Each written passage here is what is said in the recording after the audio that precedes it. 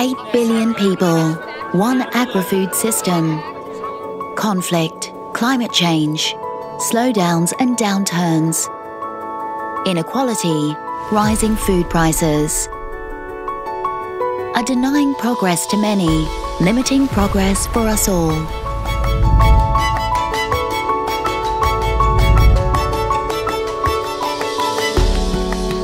What affects one impacts many. Sustainability starts with equal opportunity. Equal opportunity for farmers, producers and consumers and care for the environment. Let's build a world with more and good quality food that is safe, nutritious and affordable for all. Leave no one behind.